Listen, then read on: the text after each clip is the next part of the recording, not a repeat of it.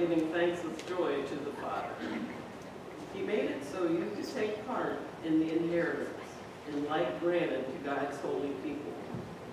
The word of the Lord. Thanks be to God. Let me invite the missionaries to come forward.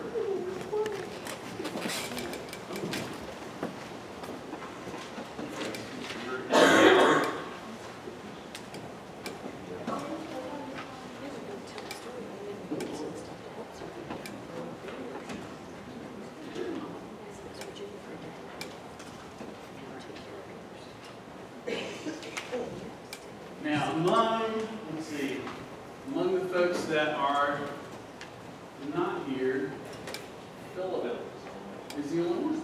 Philip Lee.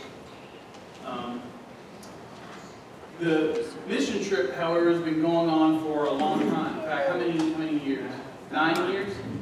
And, um, and it's not the only thing we do related to mission. I mean, you heard several examples of that during the announcement time. Um, but we, we highlight this because um, we just feel like it's important to share um, not just what we did, but what God did with us and did with all of us, really. And what it meant to have your support as this work was being done. And so um, the sermon is being broken up into four pieces. And each of these pieces speaks to a different aspect of the trip. And so the first, um, the first part of the trip is about our call to action. Why does God want us doing this? Why do we go? What is this all about? What is it that we're trying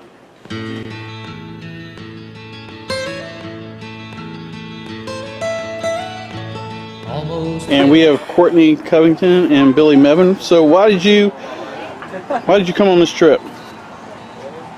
to help a brother and sister out and make our life a little bit easier.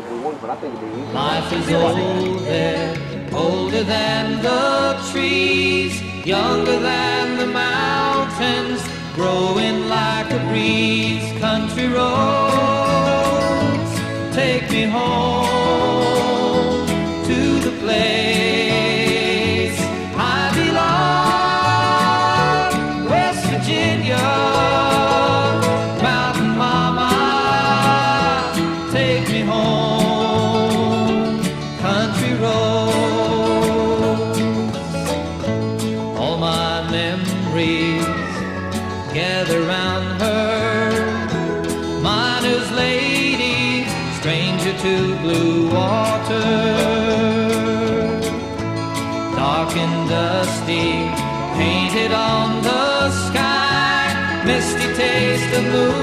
moonshine, teardrop in my eye, country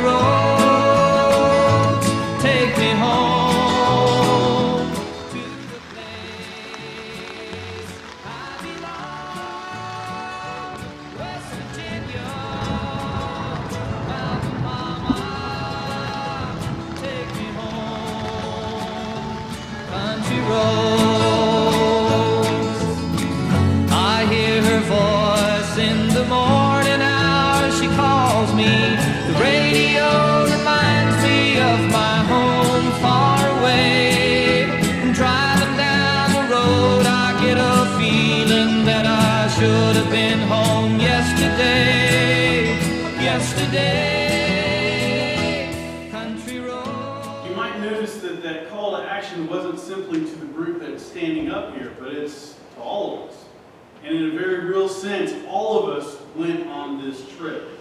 Um, but before we get into that, I just wanted to get into, so what, again, were your reasons for going?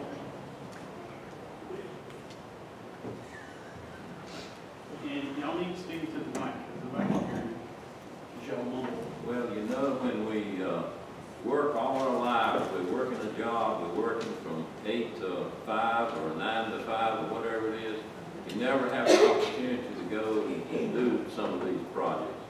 So once you retire, you have a opportunity to, to go and to, uh, help out other folks that you didn't have the opportunity when you were working. We have been blessed here at North Hills. To my knowledge, no one of us in this church family has been flooded out of our house. This lady was. She told me across the street, water was six foot high, and our house was two foot off the ground. So you can imagine how much water got into our house.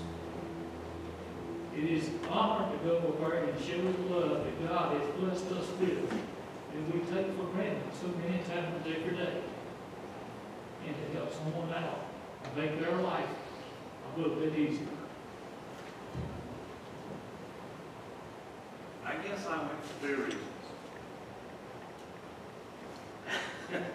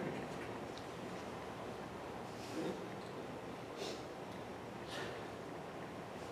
you want to rest a little bit? Uh, Uh, I think all of us go for different reasons, but for a common reasons. But one, one of the results doesn't have anything to do with the work we do. We go up there and live together for a week.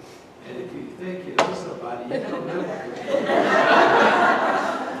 We can find out who's a good cook, who's a good eater. Who's a good sleeper, and who's a good snorer. But the, the camaraderie is one of the, one of the big issues. If nothing else will make you go back, that will. But to see the people's faces when we actually do work, sometimes it takes a day or two before they realize we really are there out of love and to do something to help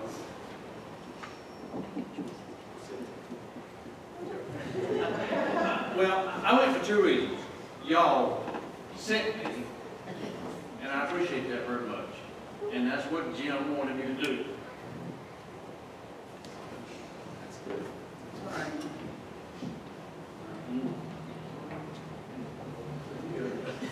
I'm from West Virginia. I lived there forty years, so it's sort of like this long home. Uh, But when I first became a member of this church, I witnessed the outpouring of youth, for example, through the yard sale that we have to support this ministry. And I just, you know, I wanted to be a part of that. And I, of course, I was up. So I said, why not? So this was your free for me. Uh, I am the one who snores. No, you're not. And any of us here are retired, but I'm not.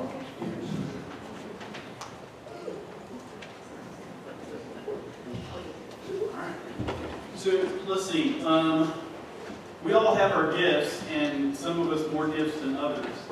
Um, some of us have tools to bring, right? Um, what else? How many of us are like actually carpenters?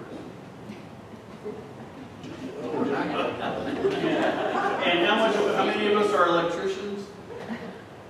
Yeah. Yeah. We're, we're jack of all trades. And so, and so some of it really is just plain willingness, right? And, and then the other piece is, how do you get ready? How long, how long before the trip were some of y'all packed? Two days. Two days Two before? days. Tool- Tools and stuff, two weeks. Two, two weeks. Well, we started getting, Courtney and I started getting stuff together two weeks prior to, Okay, how, how many weeks in advance did Jim do? Two months. Two months? We Yeah. started getting ready when we got home. Yeah, I did, I packed my bags the night Well, before. Billy and I started getting ready in March. In March? Yeah, The yard sale. for the yard sale. Okay. And, um, we don't really typically run in the same circles, do we? I mean, frankly, I mean, we don't hang out and play cards or, you know, go to the movies together or anything like that. But somehow we go up there and we're one church. And not just us, but again, you all are there with us the whole time. So, one last thing before we, we sing the anthem. What, what did we learn about how God speaks to us? What did you learn about how God speaks to Loud and clear. Loud and clear. Sometimes through other people. Sometimes through other people. Yeah. The people that we help sometimes make his call seem clear to us.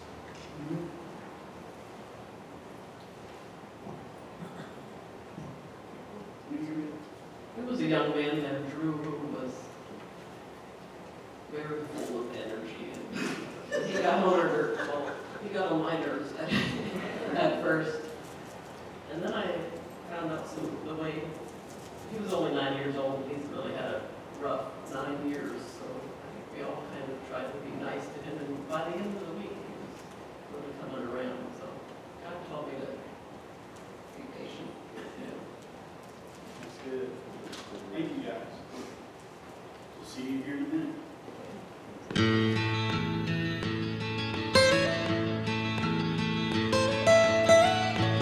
Almost heaven, West Virginia, Blue Ridge Mountains, Shenandoah River. And this is our intern, Ian, and he is here um, fresh off the boat from Ghana. No, not really. Well, he did go to Ghana, but not just like. He's been working all summer, and he's here working with us. Um, this week, we're glad to have him. And so, um, why, why are you part of this?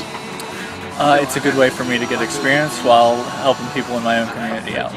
Experience doing what? Uh, development work. Ooh, so you want to save the world? Uh, maybe not so ambitious, but wouldn't hurt. At least your neighbors. Yes. Fair enough. Gather round her, miner's lady, stranger to blue water. And dusty, painted on the sky, misty taste of moonshine, teardrop in my eye, country road, take me home to the place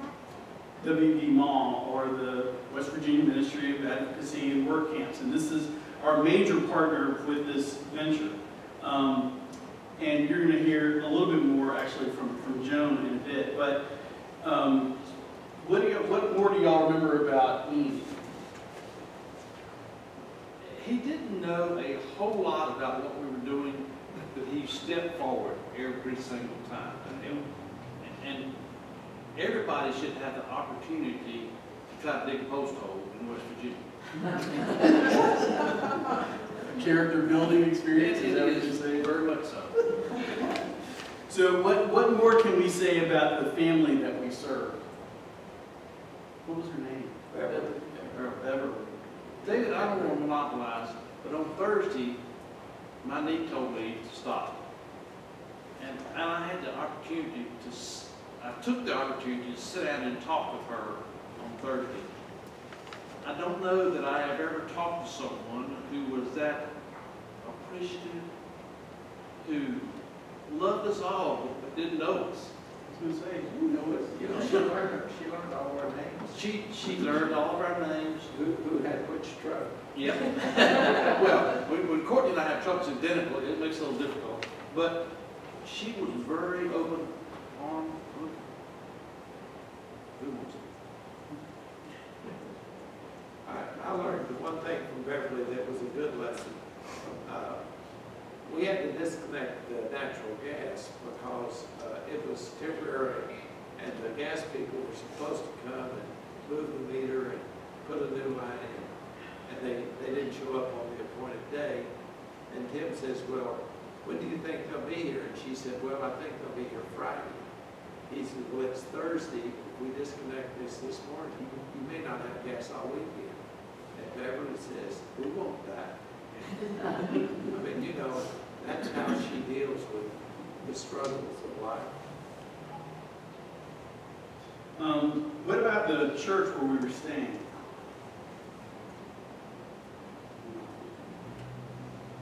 I thought it was a great facility, one of the best, and they had a great kitchen, I thought, and lots of things to cook with, and pretty much everything we needed to be comfortable there. Sleeping. Showers set up. And, yeah, they had built showers for us. It was very comfortable. And next, what was next door to the church?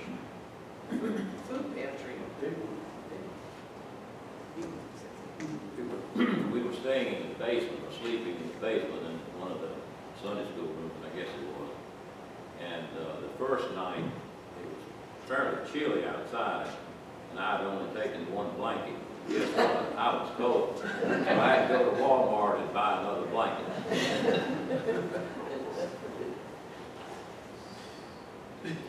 So what about, what, what about the creek? You would never guess, looking at the creek behind her house, and this was right behind her house, that it had flooded the banks and had overtaken her house.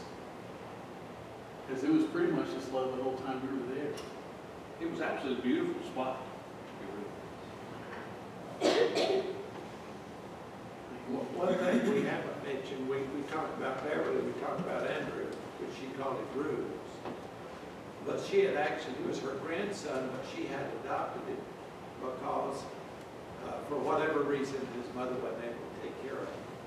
Uh, And so, uh, she was trying to raise a nine-year-old boy, and she wasn't a young woman. But she took him to play ball every afternoon. She had him signed up in the summer, uh, Little League. And she also took him to Sunday school church every Sunday. That's right.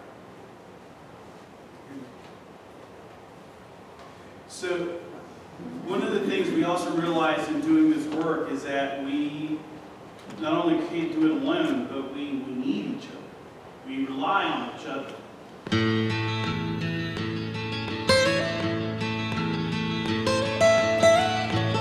almost heaven. West Virginia, Blue Ridge Mountains, Shenandoah River. Life is over. So this is John Taylor, and uh, what are you working on today? Working on the front uh, porch for this nice trailer. Alrighty. And what's the current problem that we're trying to solve? Well, it's got a little misalignment problem, but we're going to take care of it here with a few screws and hammers and uh, knots of the two by sixes. So everything can be adjusted. Everything shall be adjusted.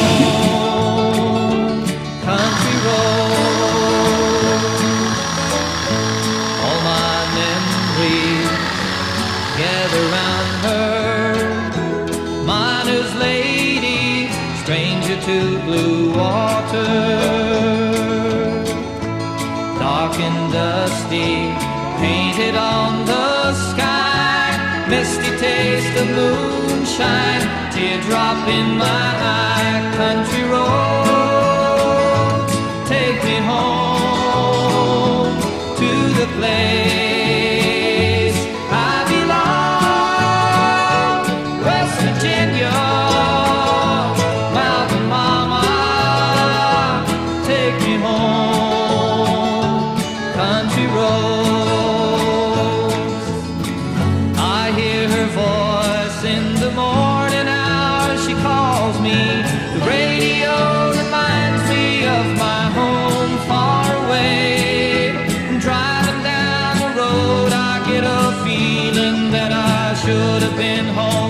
yesterday, yesterday.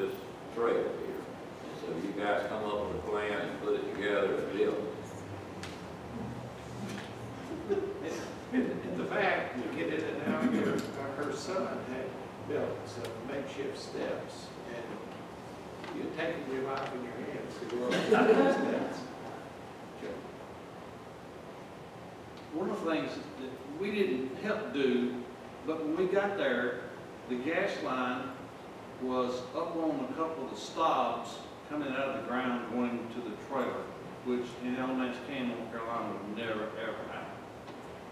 The other thing that I thought was interesting was the gray water came out and went out on the ground, and we had to work around that, which would never happen here also.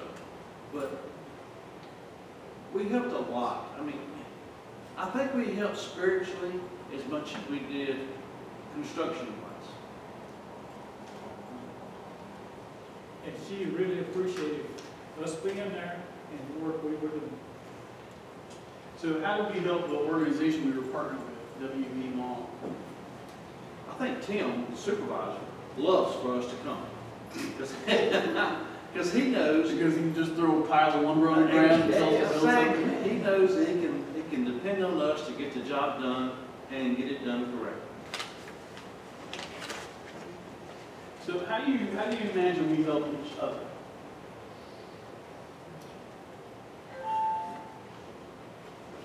Well, just getting along with each other. Good stuff.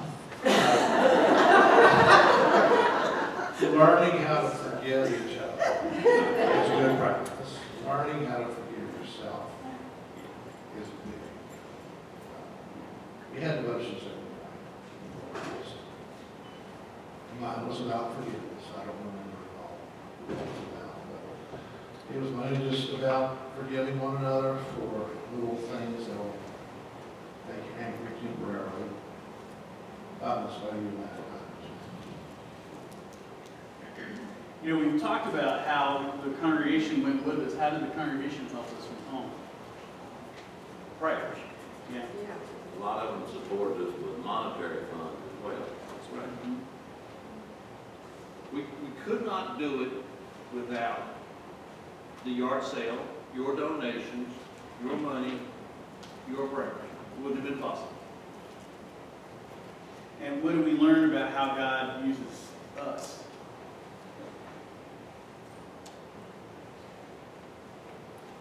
He can use us wherever we are, even in West Virginia. Sure enough. Well, it was kind of important, I thought, when we were there working and, and the gas people from West Virginia came, they were only supposed to run the gas up to the trailer, and then we were supposed to do the rest.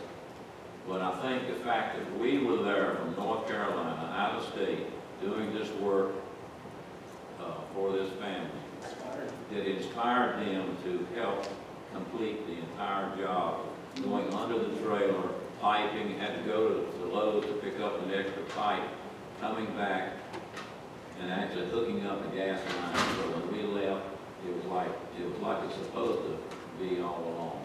They totally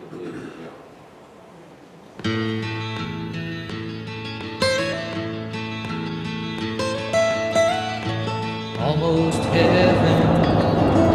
West Virginia, Blue Ridge Mountains,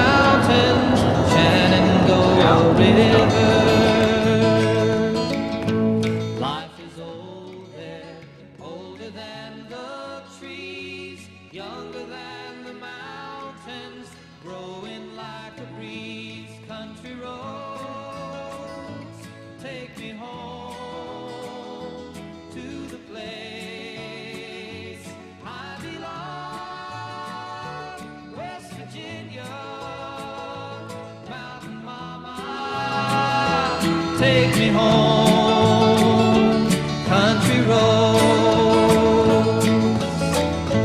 All my memories gather round her, miner's lady. And so, why should people come and do this work when they could do all this work at home? I think a lot of it has to do with perspective.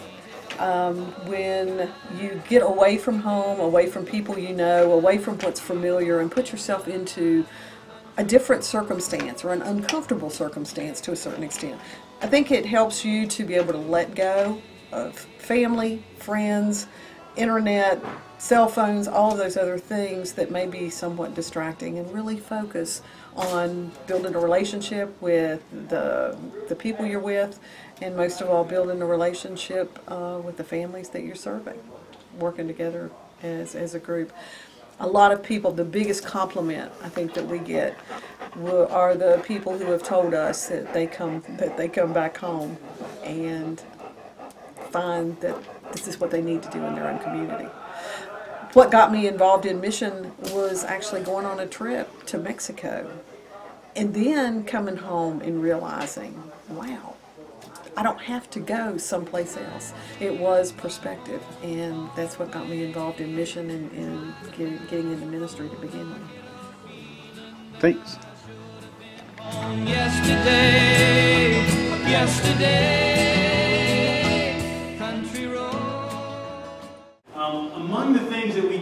we we of course finished the front and the back porches. We finished the skirting almost, well, on two, two sides, right? Which meant we, we left the job unfinished. What's that about? We made, we started the door frame, but we didn't actually complete it, right? Did we, did we end up hanging the door? Yes. Yeah, we hung the door, but we didn't finish it. Well, how can we do that? Because we knew there was another group coming behind us. Right, so we weren't the only ones working on this house. We weren't the only ones who started it. but We weren't the only ones who were going to finish it. And that's true of so much, isn't it? We are in partnership always with the building of the kingdom. And it's not just what we're doing, but it's how what we're doing fits into this larger picture of what God's trying to do with us all. And so what that means is that the work that we do um, extends not just in what we do at the job site, but in going to Joan and Tim's house to experience their hospitality. And it's a magnificent home. I mean, and the food was really great. Um, even though it was in the middle, really, of nowhere. I thought I knew what that phrase meant, but I had no clue. until we went to their house. Um, you know, us gathered together literally sitting and standing on, on the work that we did together. Um, that's not just true there, that can be true here too, couldn't it? And then when we were done, we were all leaving, and Tina decided that we were not done, even though we couldn't do the door, we couldn't finish the rest of the skirting, we at least needed to put some plants on there. And so we went to Lowe's and, and bought those plants and then figured out how to get them up, hung up, and then that's what we did. And we, of course, closed our time with a Last Supper um, at a, what was the place called? It was, a Japanese steakhouse. Fushi. Mhm. Japanese steakhouse. And, um, and it was, it was a lot of fun. It really was. And it was just a really good ending to what we, to what we did together. Yeah, can I say one Yeah. more thing about our mission work? Mhm. Well, it'll take about twenty minutes. Not really. Uh, One thing that I, I think we should all remember is uh, the nine of us went to West Virginia, but there were a lot of us involved in the yard sale. And the yard sale supports uh, all of our mission activities. And I see a lot of people here that work in the yard sale, uh, that help set it up, that, that spent a week folding clothes and organizing things and throwing out the trash so that it wouldn't uh, uh, affect the other sales. But the other things, uh, the other people I see are people that work in our other mission activities, like Good Shepherd Kitchen, and like uh, Meals on Wheels. And, and what else do we do? Manatee, Habitat for Humanity, Hospice Volunteers, that's right. Yeah, Sandwich Ministry, we talked about that. The youth backpack project over at Garrett. Yeah. So we have a lot of mission work. In fact, Harry talked about the shoe boxes today. Uh, So we, we appreciate all the prayers for us when we go to West Virginia. But pray for all of the mission work that we do through this church. And give thanks for all the people that work to raise the money to support. it.